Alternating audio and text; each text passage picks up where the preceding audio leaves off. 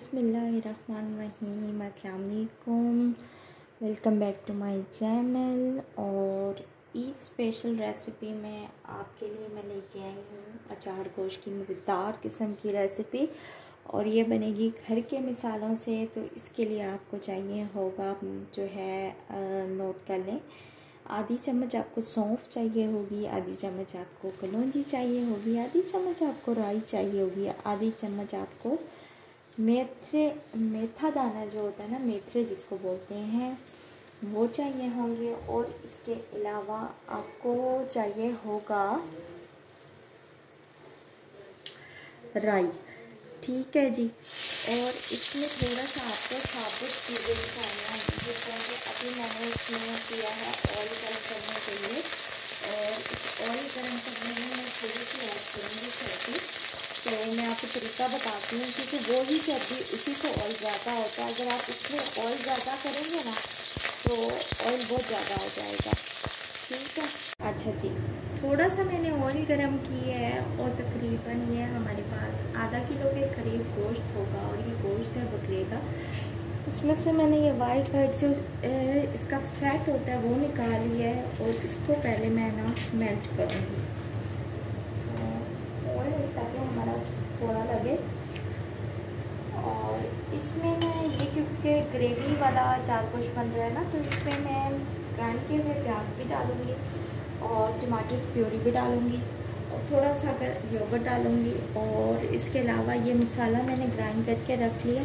इसके अलावा इसमें मैं साबुत धनिया अलहदा से भी ऐड करूँगी क्योंकि गोश्त की जो स्मेल है, वो इतनी ईजी नहीं जाती। ठीक है जी, अभी हमने चर्बी डाल दी है। हम सब्ज़ी को फ्राई करते हैं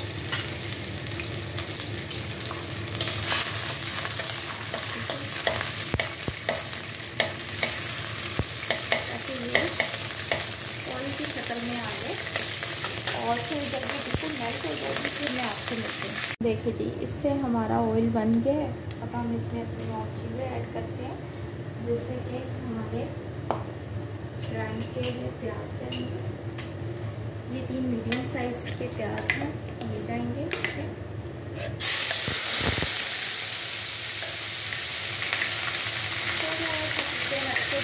से आपने ये सारे काम करना मैं इसमें बहुत खींचे जाती हूँ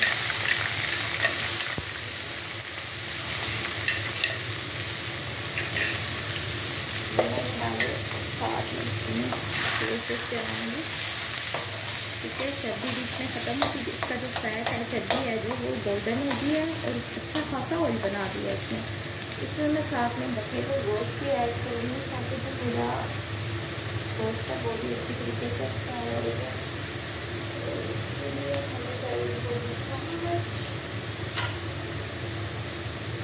थोड़ा सा ये गोल्डन हो गया, मैं अपनी गोश्त ऐड करती हूँ। और इसके साथ ही ना लहसुन अदरक में गोश्त के डिब्बा डालेंगे ठीक है जी। अब हम इसमें अपना गोश्त ऐड करते हैं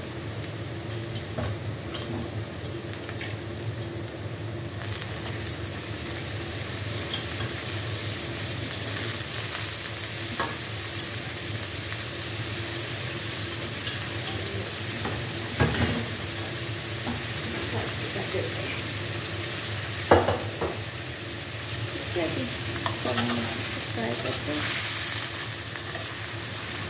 इस स्टेज पे अब मैं इसमें लहसुन अदरक का पेस्ट डालूँगी आधा चम्मच इसमें लहसुन अदरक का पेस्ट आएगा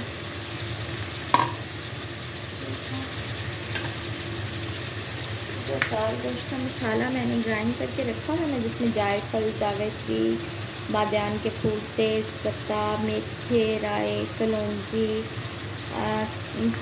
सौंफ, ये सारी चीज़ें जो हैं, ये इसमें जाएँगी।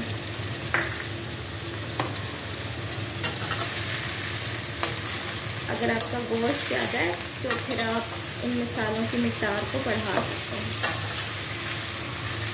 ठीक है? सा फ्राई करेंगे ताकि इसमें किसी तरह की हमक ना आए। ठीक है बकरी के गोश्त में खास किस्म की हमक होती है जो आती है, वो ना हाँ जी अच्छा सा हमने इसको फ्राई कर लिया है, और देखें जल्दी बिल्कुल बीच में ख़त्म हो गई है और इसी से हमारा जो है ना ऑयल बन गया था ये असल जो चार गोश्त की रेसिपी है ना जो पठान बनाते हैं पख्तूनख्वा में जो बनती है, ये वो वाली रेसिपी है। अब इसको मैं थोड़ा सा ऐड करूँगी।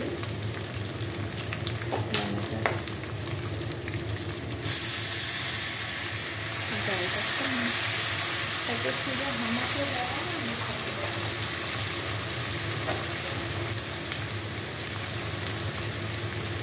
सौ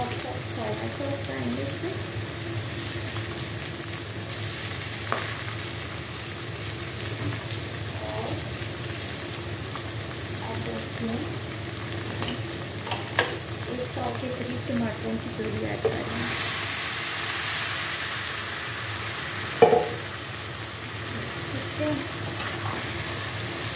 और इसके साथ हमें 10 मिनट तक इसको फ्राई करना है। दस मिनट के बाद मिलते हैं। तो मैंने इसको टमाटर के साथ इतना फ्राई किया कि इसका कलर चेंज हो गया। मोटा टुकड़ा बहुत साबित बाद एक तो ग्रेवी में अच्छा लगता है, दूसरा से इसका टेस्ट अच्छा आता है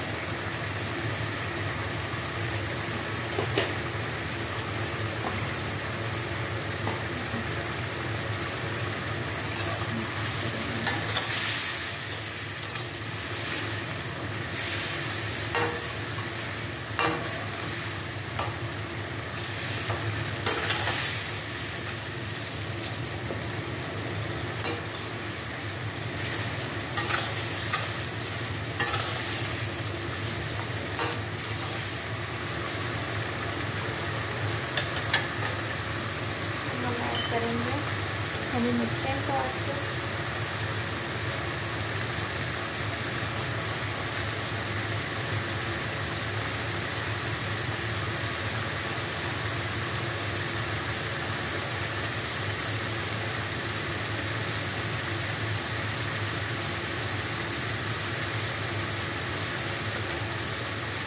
ये हरी मिर्च। तो अगर मैंने ऐड किया।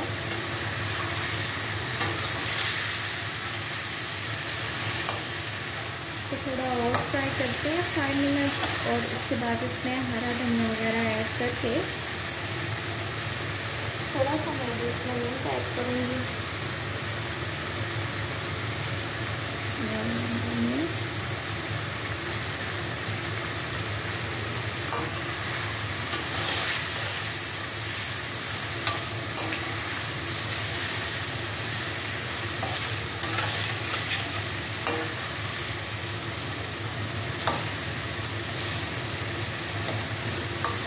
बहुत अच्छे से गल गए और ये मैंने तकरीबन टेन मिनट में कुक करने किया था।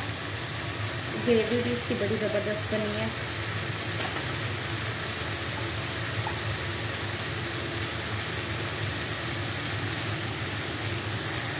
कढ़ाई हमारी रेडी हो गई है इसमें मैंने भी डाला है हरा धनिया पुदीना और अब मैं इसमें ऐड करूँगी ऊपर से लेमन क्योंकि लेमन के बगैर जो है ना आपका कोई भी मीट का टेस्ट है, वो आता लेकिन आजकल के जो लेमन, पहले जो आ रहे थे, देसी लेमन, उनमें इतना रस नहीं था, लेकिन आजकल के जो लेमन है, जो चाइना लेमन जिन्हें बोलते हैं, उनमें रस है तो उससे काम चल जाएगा ये मैं दाना रख के स्क्वीज करती हूँ डालते हैं इसमें।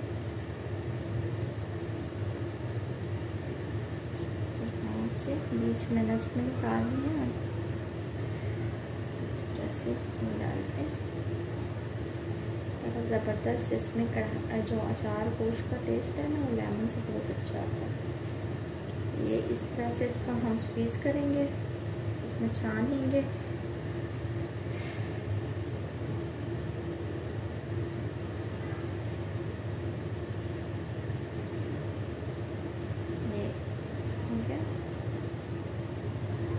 ये पूरे दो लेमन इसमें जाएँगे। जी कढ़ाई हमारी रेडी हो गई है। और ये था इसका फाइनल इंग्रेडिएंट और आई दोस्तों आपको ये रेसिपी अच्छी लगी होगी। ये ज़रूर ट्राई कीजिएगा मज़े बनती है। है। इसमें मैंने इनको अचार से मसाले हैं। तो ज़्यादा रखूँ तो इसीलिए होता है कि आपका जो है वो ज़्यादा स्पाइसी भी अच्छा नहीं लगता। ठीक है जी। तो इसी के साथ वीडियो ख़त्म करने की इजाज़त चाहती हूँ। अपना बहुत सारा ख्याल रखें, मेरी दुआ में ज़रूर याद रखें और अल्लाह ताला आप सबकी कुर्बानियों को कबूल फरमाए। आमीन सुमामीन या अबुर या रबालमीन और अल्लाह ताला आप सबको अपने सामान में रखे, अपनी बहन का जो है तरफ़ से दोबारा ईद मुबारक, और अल्लाह हाफिज़।